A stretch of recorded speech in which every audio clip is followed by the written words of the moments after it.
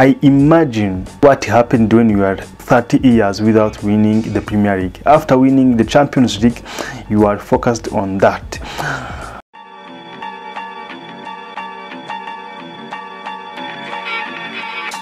Yes, reka mbasuhuze mwe mwese mwahisemo gukurikira half time half time igitangazamakuru cyanyu mukurikira cyane kibagezaho amakuru y'imikino isi y'imikino n'andi tuba turi mu isi y'imikino amakuru atandukanye avugwa ku mugabane w'uburayi amerika ndetse no muri afurika ndetse n'ahandi hatandukanye haba havugwa amakuru y'imikino.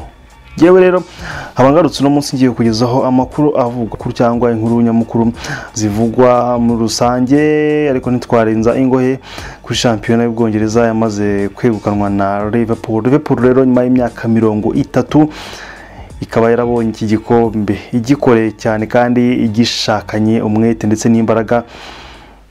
Ibintu bitanga icyizere cyangwa isomo rikomeye ku bakunzi b'iyi kipe yuko haba hakiri ibyiringiro mu buzima bwose. Icyo wakora cyose kikanga ariko isaha n'isaha isaha yawe iba izagera. Ikipe ya Liverpool ikaba yaramaze kwegukana igikombe nyuma y'imyaka mirongo itatu. Ikipe rero ya manchester city ikaba yiteguye kuzabahereza icyubahiro. Ibagomba ku munsi wa nyuma wo guhabwa iki gikombe aho bazaba babahereza icyubahiro gikomeye cyane. Ikipe Liverpool icamo hagati y'imirongo ibiri babakomera amashyi menshi cyane ibabahereza n'igikombe cyabo. Ni rero bizaba nyuma y'imikino irindwi iyi kipe ya Liverpool itegerejwe ko ibanza gukina. Ikipe rero ya Liverpool umutoza wa Man City Guardiola ibitangazamakuru byamwegereye rero. Biramubwira biti se wa musaza we watwaye ibikombe byinshi ariko tubwire witeguye icyubahiro ikipe ya Liverpool yayibwira ati rero ibi ngibi ni ibintu rwose twiteguye cyane. Tuzakora ibishoboka byose kugira ngo tubahe icyubahiro tubagomba kuko natwe ni byo tugomba kubakorera kuko muri rusange barabidukoreye. Uno mutoza rero yavuze ngo mu cyongereza cye yavuze ngo sinumva cyane ukuntu wamara imyaka mirongo itatu udafite igikombe cya shampiyona y'ubwongereza Premier League. Rero ndimo ndibaza ukuntu waba utekereza ibyo waba ukora. Gusa muri rusange nyuma yo gutwara kino gikombe cya Champions League ikipe ya Liverpool mwibuke ko yari yamaze gutwara igikombe cya Champions League mu mwaka wa bibiri na cumi n'umunani. Mwibuke ko ino kipe yari yagitwaye noneho yarimo aravuga ati nibaza nyuma yo gutwara kino gikombe rero cya Champions League inumero ino kipe yagombaga kugira nta yindi. Jurgen Klopp n'ikipe bakagombye gutekereza igikombe cya shampiyona biba byabaye n'amahirwe mu mwaka wa bibiri na cumi n'icyenda bibiri na makumyabiri. Begukanye iki gikombe. Iki gikombe rero ni igikombe kije hamwe n'ino kipe haraciyemo ibihangange byinshi abakinnyi bakomeye mwagiye mwumva. Steven gerard yaraje biranga abatoza bakomeye biranga ariko birangira Jurgen Klopp umudage wiherewe rwose umugisha aje agatanga imyaka itanu bakamwongeza indi ariko akaba amaze kwegukana iki gikombe. Rero mu cyongereza cya Pep Guardiola yavuze ngo I imagine what happened when you are 30 years without winning the Premier League. After winning the Champions League you are focused on that. Muri rusange iyo niyo nkuru ya mbere duhereyeho noneho muri FA Cup n'indi nkuru na yo nyamukuru ivugwa mu gihugu cy'ubwongereza aho iyi FA Cup ikomeje ndetse amakipe akaba akomeje guhatana ashakisha uburyo yagera ku mukino wa nyuma yo kwegukana na kino gikombe. Ikipe rero ya Man City iri ku ruhembe ndetse na Arsenal ndetse na n'ikipe ya Chelsea Manchester United.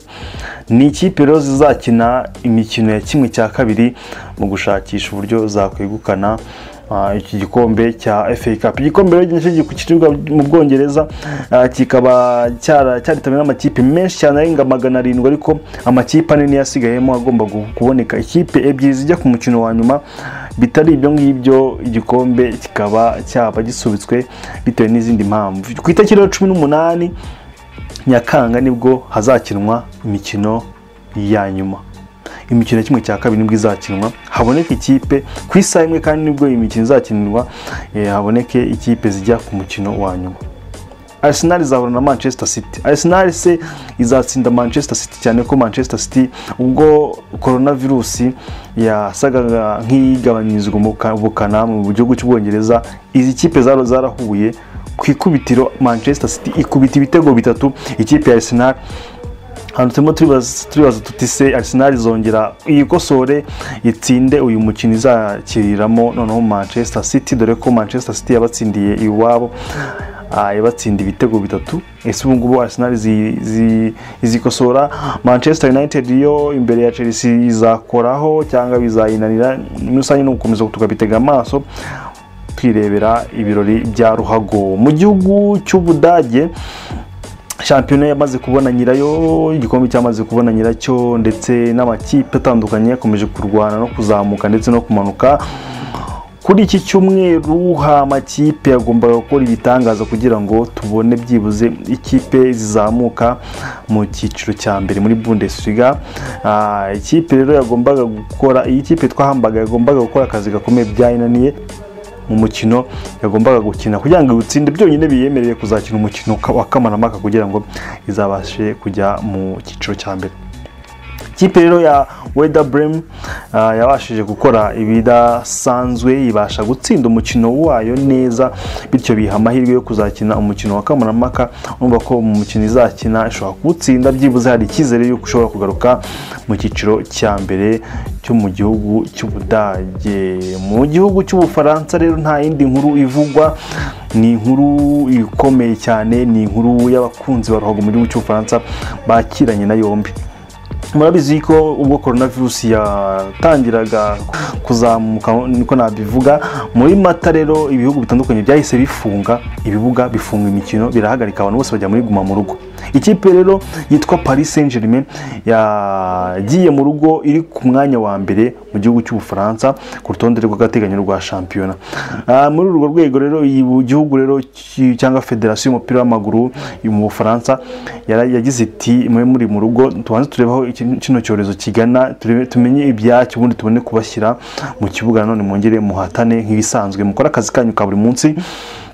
Ni muri urwo rwego rero baragiye barareba bareba ibikombe byose bikinirwa mu bufaransa baravuga bati ku itariki ku itariki ku itariki ku itariki makumyabiri n'imwe ku itariki makumyabiri n'imwe kamena mugomba kugaruka mu kibuga mugakinira igikombe cya france. Igikombe cy'ubufaransa rero mugakina paris saint germain ikakira saint etienne ku mukino uzabera kuri stade yitwa ni stade de france ariko ni stade imwe mu zikomeye mu gihugu cy'ubufaransa paris saint germain ikaba izakira saint etienne mu mukino wa france cup.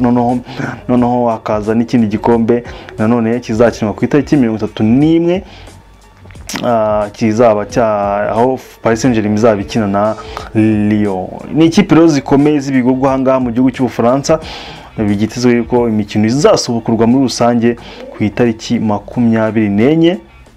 Mbabare navuze makumyabiri n'imwe itariki makumyabiri n'enye ni bwo imino shampiyona cyangwa imikino izakomeza. Ariko noneho abafana bakaba bafite amahirwe menshi yo kuzagaruka mu kibuga bakaza kwirebera uko amakipe yabo ahatana. Ku itariki makumyabiri n'enye rero abafana ibihumbi bitanu nibo bonyine bemerewe kwinjira muri stade izakira uyu mukino. Numva abafana ibihumbi bitanu rero niba stade yakiraga abantu ibihumbi icumi numva muri rusange izakira abantu ibihumbi bitanu kugira ngo haboneke wa mwanya wo kwicara abantu bahanye intera abantu kugira ngo bibashe byibuze bashobore kwirinda icyorezo cya korona virusi ku mugabane wa afurika rero tumara twigendera ni uko muri tanzania simba sport club yamaze gutwara igikombe cya shampiyona habura imikino habura imikino itandatu. Ikipe rero ikaba yamaze gutwara igikombe cya shampiyona. Ikaba rero izaba ihabwa igikombe nyuma y'imikino itandatu. Simba sport club murabizi ko ari ikipe yo muri gihugu cya tanzania. Ikipe iyobowe na rutayizamu witwa kagere medi.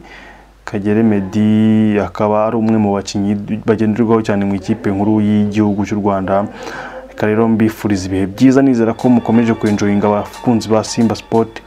Club rero reka mbabwire indi nkuru rero ivugwa mu gihugu cy'u rwanda ni muhajiri. Muhajiri ni umwe mu bakinnyi bakomeye cyane mu bakinnyi twese twemera cyane mu bakinnyi bakinnye mu makipe akomeye kiyovu siporo aperi efuse ndetse ajya no barabaho hakurya.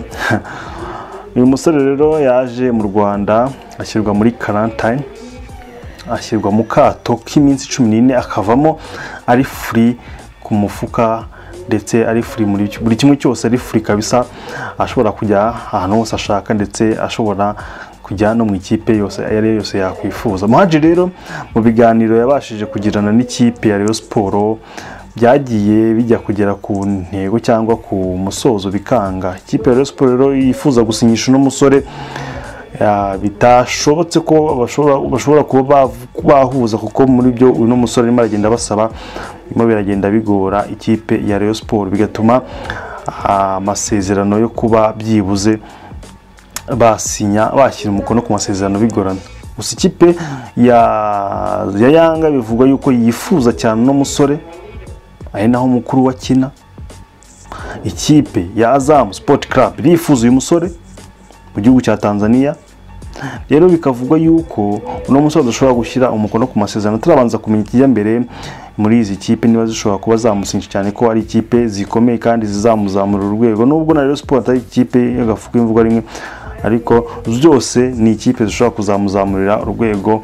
Uno musore rero akaba ategereje kuzabona uburyo yajya muri kipe muri imwe muri izi ngizi cyangwa byakwanga akabona kujya muri kipe ya Rayon siporo reka rero mbabwire yuko gahunda ni ya yindi gahunda ni ya yindi ni amakuru y'imikino ni isi ya siporo. Nta handi wabikura muri rusange uri gukora sabusikarayibu niba ushaka amakuru y'imikino ibindi uzabimbaza ngewe mba nibereye. Ahangaha nsuzano mwese mudukurikira mwibereye mu kazi nsuzano mwese mudukurikira mwibereye mu rugo nsuzano mwese mudukurikira mwibereye mwagiye gusura inshuti n'abavandimwe nsuzano mwese mudukurikira muri mu bihe bikomeye babwira ngo mwihangane nanone kuko iyi si ni izunguruka reka rero babwire ngo ibihe byiza mukomeze mukurikira amakuru yacu aho tubagezaho ku mbuga nkoranyambaga zacu zose. Yutube cano ni hafu tayime instagram ni hafu tayime doti rwa webusayiti na yo ni hafu tayime doti rw reka mbifuza ibihe byiza. Cawo cawo ushobora kuba ukunda amakuru y'imikino agezweho ushobora kuyasanga kuri hafu tayime akadomo rwa. Niba ukunda amakuru y'imikino wayasanga kuri hafu tayime akadomo rwa.